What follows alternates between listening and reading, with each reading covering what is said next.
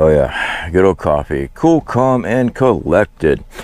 All right, guys, panic buying is spreading all over America right now. Article for you guys, U.S. Rice ban triggers panic buy in all states.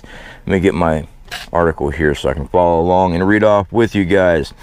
The Indian government has imposed a ban on the export of non-basmati white rice. The ban may affect around 80% of India's rice export, which reduces rice prices in India.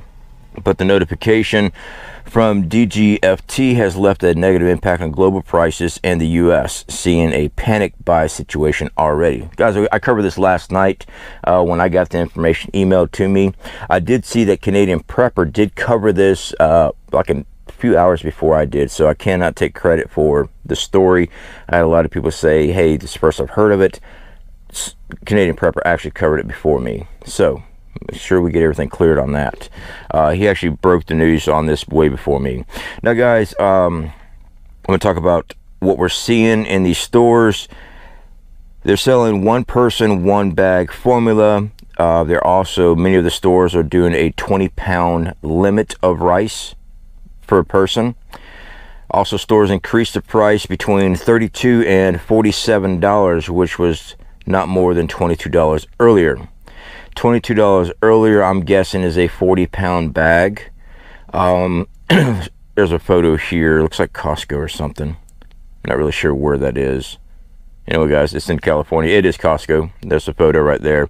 People loading as much rice as possible. Panic buying. You guys see all that rice in that, that cart right there?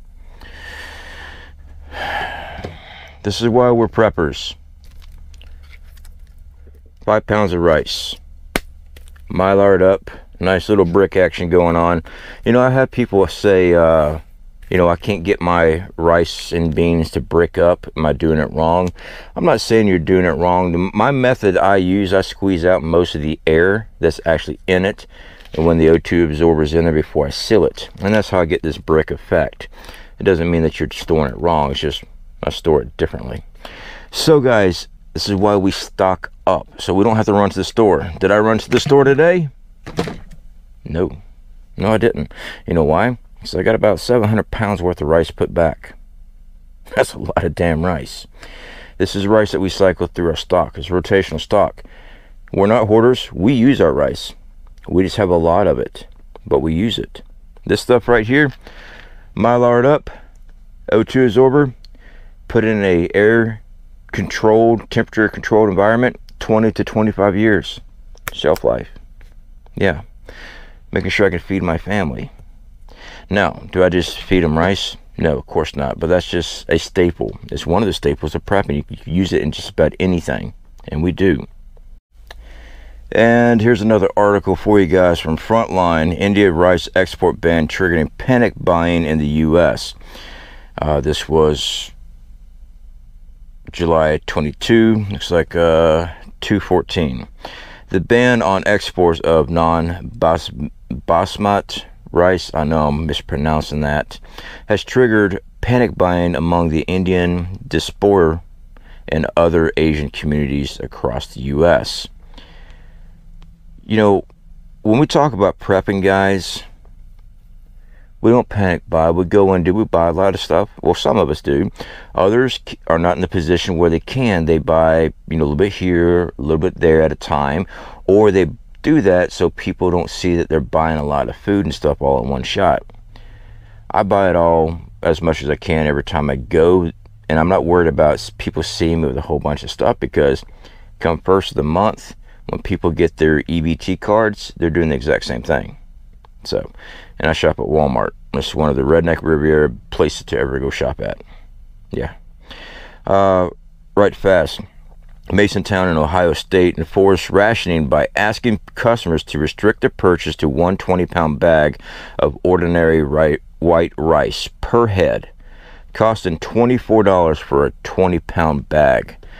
I was paying $11 the last bit of rice I purchased was $11 and change from my local Walmart for a 20 pound bag. That's over double than what I was paying. $24? Yeah, A buyer in Texas said he bought a 20 pound bag of white rice at $34. That's a 300% markup. Is that right? You're paying three times as much. That'd be 300%, right? My math could be wrong. Yeah. $34. $24 for 20 pounds of rice. Now, this goes on beyond this as far as just rice, ladies and gentlemen. Please, I hope that you have been prepping. I've been on here four years. I know I am still a small channel. We got over 60,000 community members here. Unfortunately, on average, only 1.2 thousand to 4,000 people actually watch my videos. And at that, most of them click off within the first three minutes. How do I know this? My analytics. Yeah. So people really don't want to hear what I'm saying. Well, I don't like saying I told you so. I don't like saying that. Do I feel, do I want to say that sometimes? Yeah, absolutely. I just wish that people would be buckling down. 20 pound bag of rice at the time, $11 and change. That is 100 and some cups or 100 and some servings of rice. I believe that was the number in my head. It's a lot of food. It's a lot of calories. Mix it up with beans, put it up, and we put in everything. Anyway, my brain's not firing correctly today. Uh, it's just one of those things. It's one of those things I have to deal with on a daily basis. I have my own injuries. Anyway, guys, uh, this is not good. We see the reaction of news comes out and everybody scatters. You guys remember the toilet paper issue? Yeah. You know, toilet paper was so so much a scarcity. I was actually able to trade a package of toilet paper, there's four rolls in a package, for a whole case of MREs during the shutdown. A whole case. You go online right now, a case of MREs come in a pack, what is it, 12 in a case, you're looking at 120 bucks for four rolls of toilet paper. But that was the currency exchange. I traded toilet paper for MREs. I couldn't pass it up.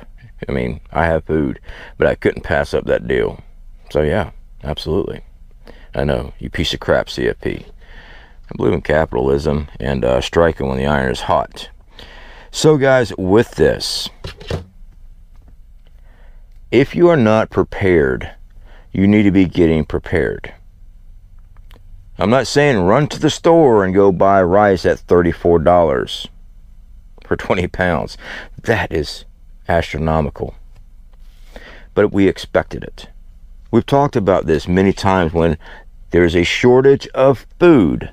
It will be priced out of everybody's range. I'm sorry, can you afford to go to the store right now and go buy 20 pounds of rice for $34? Some people will say yes, no problem. A lot of people is like, dude, I can't even put gas in my car right now, let alone go buy 20 pound bag of rice at $34. You need to start somewhere. If you can't start with rice right now due to this, start elsewhere. Canned goods, dry goods. We've done videos so many times on rice, stockpiling rice, showing you how to seal it up in mylar, store it correctly, put it in five gallon buckets, store it, put it in whatever you have to to store these things up. I know other YouTubers put them in uh, soda bottles, whatever, whatever works for you. I don't care. People like to comment, well, so and so, such and such channel said to do it this way. I don't care what another channel is telling you how to do something. I show you what we do here. I'm not going to get in a debate and fight over who's correct and who's wrong. As far as I'm concerned, as long as you got food in your house, that's what I'm concerned about. I don't give a crap if you're putting it in a soda bottle or mylar. I don't care. As long as you're able to feed your kids. Sorry, I get heated sometimes. I just get frustrated. I get frustrated, is what it is. I'll be up here trying to get people prepared for it. And if it doesn't happen next week, I get to read emails sent to my account to get to read the comments. Nothing happened, you fear monger and fear porn SOB.